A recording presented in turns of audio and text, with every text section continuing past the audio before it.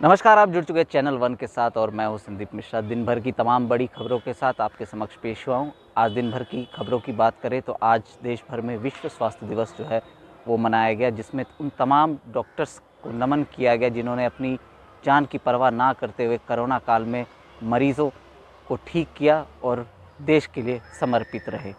वहीं जम्मू कश्मीर की बात करें तो परिवार स्वास्थ्य सर्वेक्षण में जम्मू कश्मीर जो है पहले से स्वास्थ्य के क्षेत्र में जो है काफ़ी बेहतर हुआ है और जन्म मृत्यु दर में भी जो है काफ़ी ज़्यादा कमी आई है।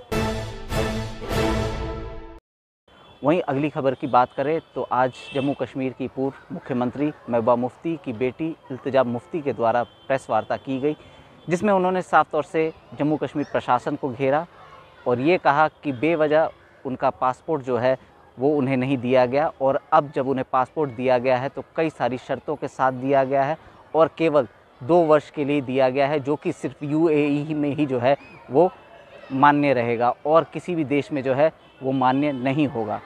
जिसको लेकर के उन्होंने केंद्र सरकार पर भी निशाना साधा कि वो उनके साथ इस तरह से दुर्व्यवहार कर रहे हैं, जैसे वो देश विरोधी हो। मैम, यहाँ से यहाँ से। मैम, यहाँ से, मैम।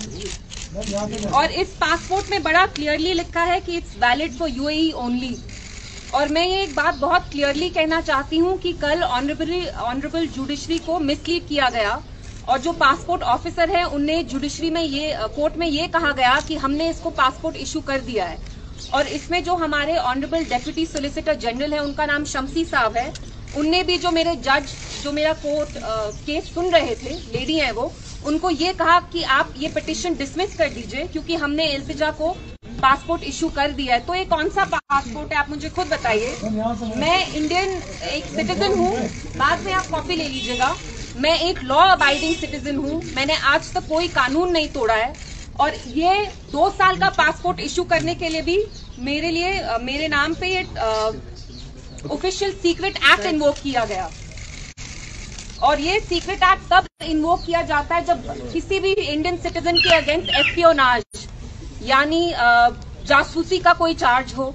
और जो मेरे अगेंस्ट एडवर्स रिपोर्ट दी गई है सीआईडी ने सबसे पहले तो सीआईडी ने कोर्ट में ये कहा कि हम इनका पासपोर्ट नहीं रोक रहे हैं, हम इल्तिजा का कोई भी फंडामेंटल राइट वायलेट नहीं कर रहे हैं। जैसा कि आप जानते हैं right to travel abroad is a fundamental right and I am being deprived of that right and ये मेरे साथ हो रहा है और मैं एक पूर्व मुख्यमंत्री की बेटी हूँ।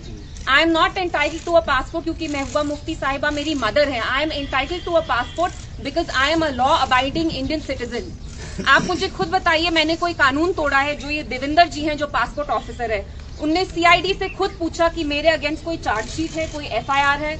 और आप लोग जर्नलिस्ट हैं, आप सारे जाके प्लीज़ पता करवाइए, मेरे अगेंस्ट कोई चार्जेस हैं? क्या मेरे अगेंस्ट कोई एफआईआर है, कोई चार्जशीट है? तो मेरा कसूर क्या है? अगली खबर की बात करें तो आज डायरेक्टर ऑफ़ स्कूल एजुकेशन की तरफ़ से तमाम मान्यता प्राप्त निजी स्कूलों को जो है दिशा निर्देश जारी किए गए और उसमें साफ़ तौर से कहा गया कि कोई भी स्कूल जो है अभिभावक या विद्यार्थियों को किसी खास दुकान से किताबें, यूनिफॉर्म या पाठ्यक्रम से जुड़ी हुई तमाम संबंधित चीज़ें लेने के लिए बाध्य नहीं कर सकता। यदि इस तरह की शिकायत उनके समक्ष आती है तो उस स्कूल के खिलाफ जो है उचित कार्रवाई की जाएगी। वहीं अगली खबर की बात करें तो आज जम्मू में बड़े पर्दे पर के सी पी वी आर में डोगरी फ़िल्म मौज मस्ती जो है रिलीज़ की गई। तमाम उस फ़िल्म से जुड़े हुए कलाकारों से भी हमने बात की और तमाम कलाकारों का यही कहना था कि ज़्यादा से ज़्यादा लोग जो है इस फ़िल्म को देखें ताकि जो उनकी क्षेत्रीय भाषा डोगरी है, उसको ज़्यादा से ज़्यादा लोगों तक पहुँचाया जा सके और लोग जो है अपनी भाषा के लिए जागरूक भी हो सके। तो आज जो बड़े पर्दे पर देखकर खुद को भी ऐसा महसूस हो रहा है कि इतना बड़ा कभी सोचा नहीं था कि इसे पर्दे पे देखेंगे। बट बहुत ही अच्छा लग रहा है और सबकी सपोर्ट रही है। और मेरी दरख्वास्त है जम्मू वासियों से कि आप प्लीज़ आके ये पिक्चर देखें। ये हमारी अपनी डोगरी भाषा जो मूवी बनी दी है तो तुसें सारी दिखनी तो सपोर्ट करनी है इसी और अपना फीडबैक ज़रूर दो देखिए, गीत तो काफ़ी सारे मैंने लिखे हुए हैं और बॉलीवुड मूवी के लिए भी, जैसे मास्टर सलीम जी का है, भोले दी बारात वो भी काफ़ी सारे लोगों ने सुना। तो मुझे मतलब कि मैं चाहती हूँ जैसे हम पंजाबी, हिंदी, हमें अपनी डोगरी को भी प्रमोट करना चाहिए। तो डोगरी जो है, हमारी मातृभाषा है। डोगरी के लिए ये जो जो कदम उठाया गया है बहुत सही आ, मुझे लगा। और खुशी हो रही है कि डोगरी में भी पिक्चर बन रही है। तो मैंने जैसे बॉलीवुड में सॉन्ग चलते हैं आइटम सॉन्ग ज़रूरी नहीं है कि वो बॉलीवुड में ही चलें हमारे भी डोगरी में चल सकते हैं। तो इसलिए मैंने इसमें आइटम सॉन्ग जो है उसको अच्छे से निखारने की कोशिश की है। जैसे कि ये शड़ी करियो मौज मस्ती। तो बहुत कोशिश की है। अब आगे पब्लिक मैं चाहती हूँ कि लोग पसंद करें देखें पिक्चर आएँ पीवीआर में और मैं बस यही कहूँगी कि- डोगरी को प्रमोट करिए। हमारा नेक्स्ट यही है कि ये फ़िल्म अगर दर्शकों का अच्छा सहयोग रहा तो हम उनसे प्रॉमिस करते हैं कि हम आगे बहुत जल्द अगली फ़िल्म लेके आएँगे और एक बहुत अच्छा कोई ना कोई मैसेज मतलब फ़िल्म सिर्फ़ कॉमेडी नहीं होगी या इंटरटेन नहीं होगा। हमारी कोशिश है कि फ़िल्म एक मैसेज दे समाज को तो हम इस तरह से काम करने की कोशिश करें।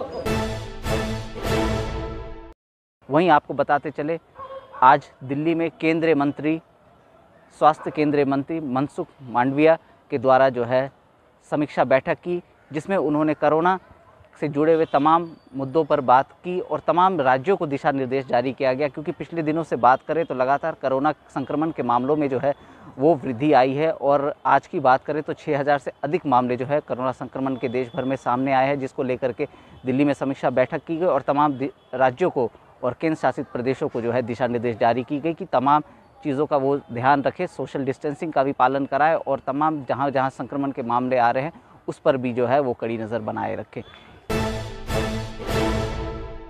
इसके साथ ही आपको बताते चले, मौसम की बात करें तो आज जम्मू में दिन में तापमान जो है लगभग 30 डिग्री के आसपास जो है वो दर्ज किया गया और जम्मू श्रीनगर राष्ट्रीय राजमार्ग जो है आज मरम्मत के कारण पूरी तरीके से बाधित रहा।